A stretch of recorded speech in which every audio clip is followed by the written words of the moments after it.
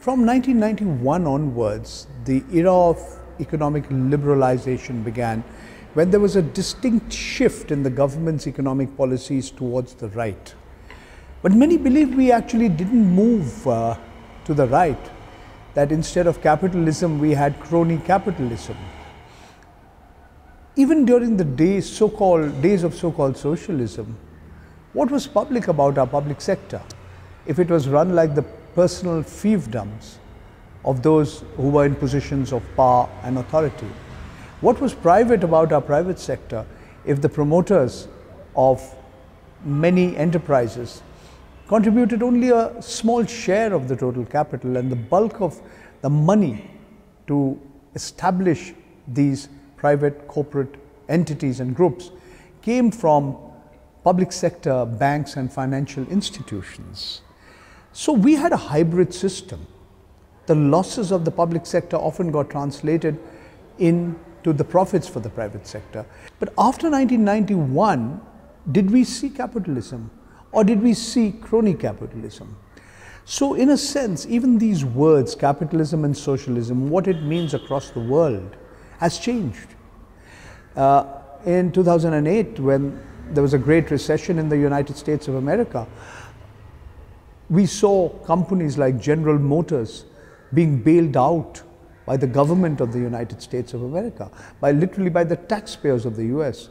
There was a period of time where over 50% of the equity capital of General Motors was held by the government of the US. The same corporation which at one time epitomized free enterprise capitalism. So was GM at that point of time a public sector company or a private sector company. So even at these words and the meanings of these words like capitalism, socialism, the way Marx conceived it or where others interpreted it or Frederick Hayek thought about it, all of these words have come to acquire different meanings and connotations. But when you come to India specifically, I think in more ways than one, we've got the worst of both worlds.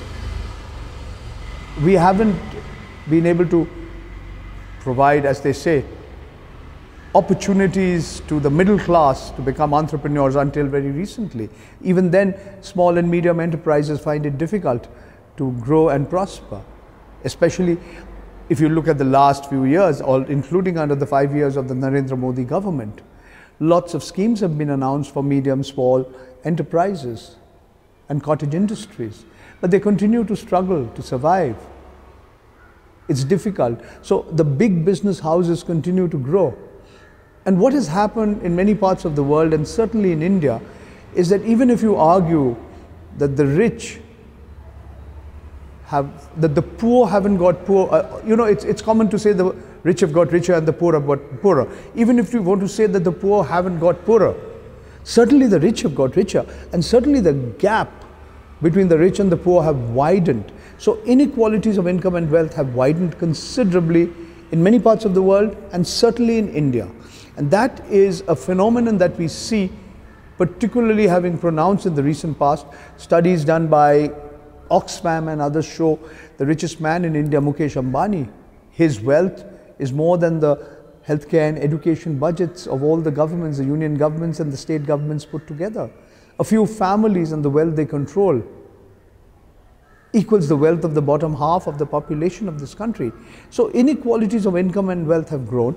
At the same time, the state, the government, this process started in the 90s and certainly has got accelerated over the last five years under the Narendra Modi regime, is the state seems to be, the government seems to be being withdrawing from areas where even in advanced capitalist societies, governments agree that the government has a lot a very important role to play in terms of actual involvement, and that's healthcare and education. So I believe that that's a retrograde step to seek to invest or to seek, seek to depend on the private sector to invest in healthcare and education, especially a country like India, where at this juncture, half our population is below the age of 26, and soon India is going to become the most populous country in the world. And certainly, in the next five years or six years, there'll be more people in India than in any other country in the world. The population of India will overtake that of the People's Republic of China. So I would say the biggest challenge which this government has not been able to address is really joblessness and jobs for young people. What we've seen, in fact, are economic decisions which have disrupted the economy, notably demonetization of November 2016. It was meant to curb the use of black money, to curb the use of fake currency notes by so-called terrorists. It was supposed to usher in a less cash or a cashless society. We, we can argue that none of these objectives, laudable as these objectives are, have not been achieved.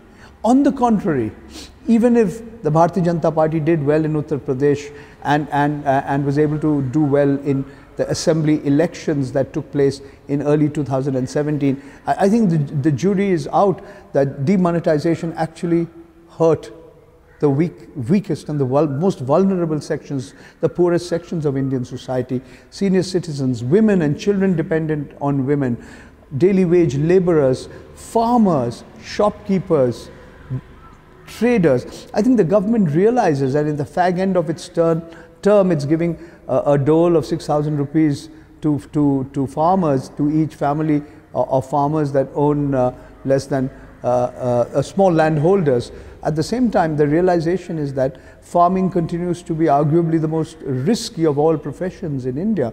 And, and despite a lot of claims that they're going to double the income of farmers, the fact is rural India continues to undergo a series of crises. Those who provide food for us are engaged in the riskiest of professions.